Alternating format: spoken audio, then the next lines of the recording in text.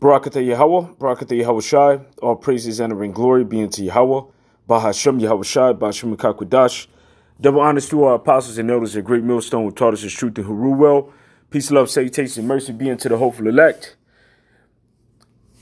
200 million missiles, 200 million nuclear missiles, won't that destroy the whole planet?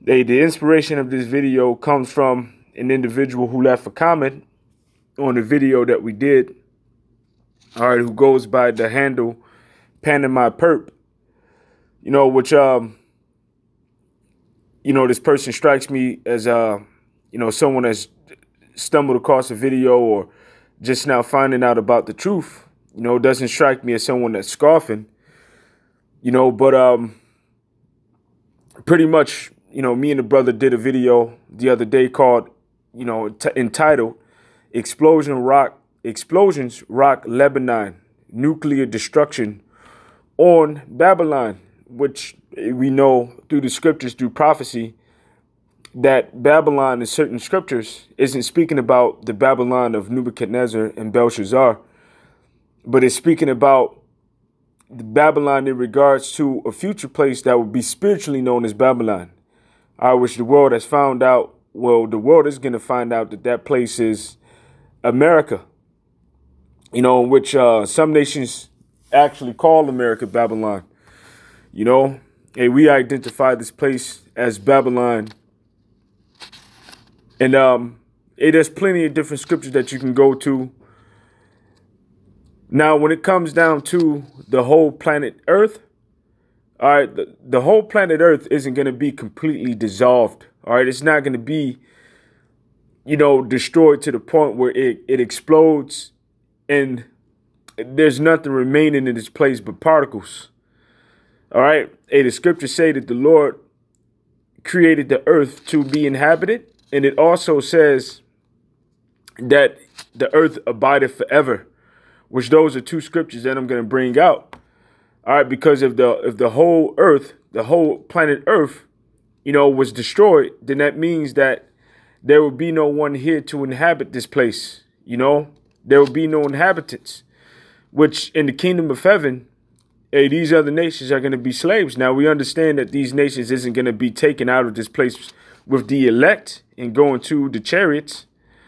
So they're going to be left upon this place while the destruction of certain places are going on. All right, because the thermonuclear destruction is not going to happen, you know, it's it's it's gonna happen mainly in certain places. In those places is where the third part of men live. The third part of men being Esau, Edom being the wicked. And the main place that they're ruling through that's causing all of the turmoil in the world is Babylon. All right, so this place is going to be destroyed, the whole land. Now, going over to the book of uh, Ecclesiastes, all right, the first chapter in uh, verse 4, and you should know what I'm getting. All right, it reads One generation passeth away, and another generation cometh, but the earth abideth forever.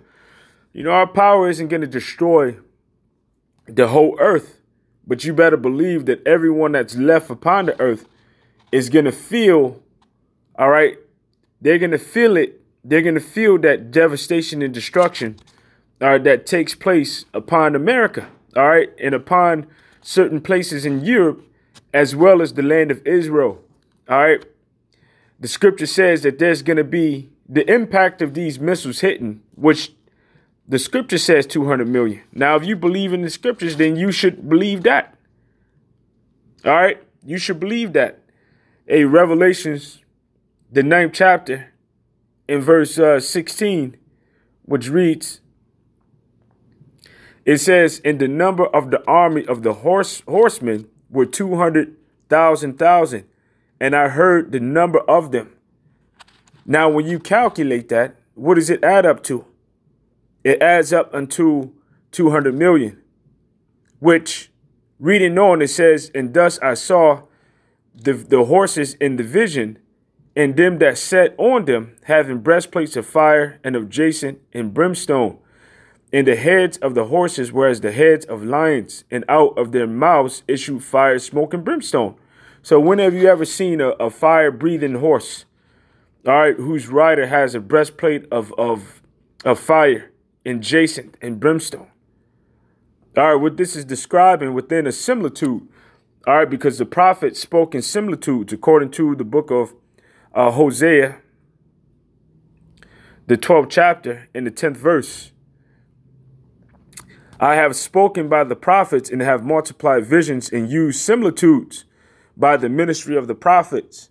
All right, which a similitude is when you take something and you use it to explain something else. All right, uh, simply to put it, a metaphor.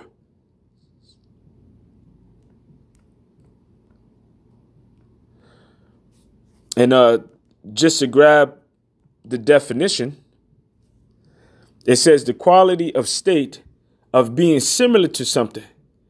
So the words that they had at that ancient time, they would use them to describe something that they were seeing in the future or something that's similar. So what John the Revelator saw was he, he saw nuclear warheads are entering back into the atmosphere and he saw the color of them changing you know, the color that they changed when they were entering back into the atmosphere once it heated up and got hot. And he also saw the devastation and destruction that they caused. By these three were the third part of men killed by, by fire, by the fire, by the smoke, and by the brimstone which issued out of their mouths. So who's the third part of man? The third part of man is Esau Edom, the wicked. You know, so primarily in places where they abide you know, mainly here in America, you know, because America is Babylon and America has caused all of these other nations to drink of the wine of the wrath of her fornication. So these nations having drunk of the wine of the wrath of her fornication, they are upset at the whore. They're upset at Babylon. They're upset at, America. So they're going to use the nuclear missiles that the Lord put it in their mind to design, and they're going to hurt. All right, they're going to shoot those over here with the lack of regard for life, or their mind state that they're in is to destroy. And when they do that, all right, and the regions where they're where they're shot into, it's gonna kill all right a lot of people, and it being a lot of missiles missiles being detonated, all right, it's gonna cause the Earth to reel to and fro on its axis. All right, it's to cause the earth to shake. It's to go back and forth. Now, these elites, knowing that this is getting ready to happen, all right, they're in the mind state of, of, of going into hiding. All right, all of these rich people that have money in the earth, all right, they knew eventually that this devastation was going to come. And that's the reason why this, they're within the spirit of building nuclear uh, bunkers. All right, turning nuclear silos into luxury, you know, uh, uh, living quarters to survive this nuclear holocaust that's coming upon the planet Earth. You know, but the Most Heavenly Father knew that this would happen. All right, so they're going into that pit, uh, into these pits, and they're going to hide themselves, all right, from the destruction that's coming upon the earth. But they're going to come out of that, uh, uh, out of those pits and go into slavery. Isaiah 24 and 17, it says, fear, uh, Salakia. It says, Fear in the pit and the snare are upon thee, O inhabitant of the earth. And it shall come to pass that he who fleeth from the noise of the fear shall fall into the pit, and he that cometh out of the pit, the midst of the pit, shall be taken in the snare. For the windows from on high are open, and the foundations of the earth do shake. Now, what does it mean the windows from on high are open? All right, it's speaking about the missiles entering back into the atmosphere. All right, because they're shot from the bow. The bow is the nuclear silo, and they go out into outer space, but then they enter back into the atmosphere, and that's the reason that they're able to travel so fast. That's the reason why the scriptures say within one hour. All right, and just imagine millions of them, all right, doing this upon the planet Earth. All right, it's it's gonna be devastated. All right, and the tremors are gonna be felt all across the earth. All right, there's gonna be a large quake. Isaiah 24, 19. It says the earth is utterly broken down, the earth is clean off. the earth is moved exceedingly. All right, so the earth is gonna move exceedingly at these missiles shaking but it's not going to be enough to completely destroy the earth. It's just going to make it shake on its axis. All right, and just to look up the word for exceedingly, the word there is mawat, and it says to totter, to shake. All right, to shake, to be overthrown, dislodged. All right, to uh, let fall. Although the earth isn't going to fall off its axis, all right, the devastation and destruction from these missiles are going to be felt, though. Verse 20 says, The earth shall reel to and fro like a drunkard, and shall be removed like a cottage. The transgressions thereof shall be heavy upon it, and it shall fall and not rise again. So, who's going to fall and not rise again? That's the rich elite. Now, when it says the earth shall move to and fro like a drunkard, all right, just imagine a drunk person you know, being inflamed, you know, off the bottle and staggering all over the damn place, man. All right, that's how the earth is going to be. But the angels are going to have to hold the earth from exploding and from falling off of its axis. Psalms 107 and 27. They reel to and fro and stagger like a drunken man and are at their wits' end. So a drunken man staggers. All right, he stumbles all over the place. All right, that's that major earthquake that the scripture speaks about. You know, when you go to scriptures like Revelation, the 11th chapter, all right, and um, the the 12th verse, all right, which which this, I'm the point is in the 13, but I'm going to start at 12, all right, because this devastation is going to be uh, so strong upon America, all right, in uh, different places of the world that the elect are going to have to be taken away, all right, so that they won't get caught up in the destruction that's coming upon the earth. Revelation 11 and 12, and they heard a great voice from heaven saying unto them, All right, come up hither. And they ascended up to heaven in the cloud, and their enemies beheld them. And the same hour was there a great earthquake, and the tenth part of the city fell, and in the earthquake was slain men seven thousand, a complete number of men. And the remnant were affrighted and gave glory unto Yahweh power of heaven. So the men that were affrighted that gave glory was the elect that was delivered and that were in the ships that escaped, all right, uh, that barely escaped. You know, as soon as the missiles were coming down and that destruction was getting ready to be caused, all right, they were being delivered and taken up so that that destruction would not come upon them. And 200 million missiles, all right, is enough to make the earth reel to and fro on its axis all right, to cause a great quake, a great earthquake. Now, the 10th part of the city that was destroyed, that's speaking about America, because when America enters into martial law, all right, or an emergency, you know, time, power is given over to FEMA. And in FEMA, America is broken down. Under FEMA, America is broken down under 10 zones, all right, 10 regions. All right, from, from the East Coast to the West Coast is broken down into 10 regions. So that's what it means when it says a tenth part of the city all right, shall be destroyed. So that's what's going to happen. It's not going to be 200 million missiles hit and then the earth is, is completely destroyed and that no one is inhabiting the planet earth. Hey, the scripture says this as well when you go into the book of Isaiah, the 45th chapter, in the 18th verse. It says, For thus saith Yahweh that created the heavens all right, power himself that formed the earth and made it. He hath established it. He created it not in vain. He formed it to be inhabited. I am Yahweh and there is none else. All right, so the earth is created by Yahweh to be inhabited.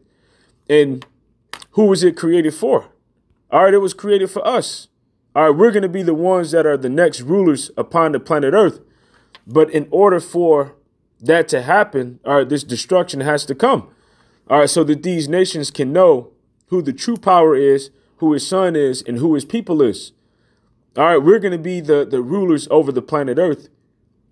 And our power is taking down all of the, the rulers that be right now. He's taking down Esau, Edom out of power.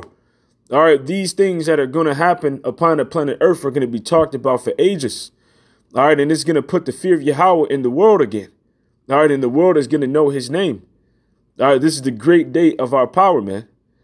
Second Ezra 6 and 57. And now, O Yahweh, behold, these heathen, which have ever been reputed as nothing, have begun to be lords over us and to devour, to devour us. You know, which these nations have ruled over the earth. The main nation that's ruling over right now is Esau Edom. And guess what? They are lords over us at this moment. And guess what they're doing? They're devouring us. And all of the other nations have been partakers in this, all right, and have had their hand in the, the devouring of the children of Israel. And the scripture says what? All that that devour you offend, and all that devour you shall be devoured. So this is part of the devouring of the wicked, man. The thermonuclear destruction.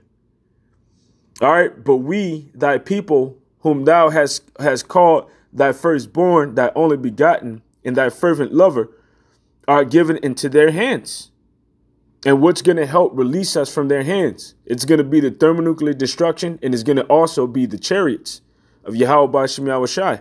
It says, If the world now be made for our sakes, why do we not possess an inheritance with the world? How long shall this endure? So the earth is created for our sakes. All right, we're going to be the rulers over the planet Earth. All right, so this place wasn't created in vain, it was created to be inhabited and who's going to be the inhabitants of it. All right, who's going to who's going to rule over it? All right, we're going to be the rulers over it in the other nations, all right, which are going to inhabit this place as well. They're going to be our servants in the kingdom of heaven. So the earth is going to be completely destroyed, all right?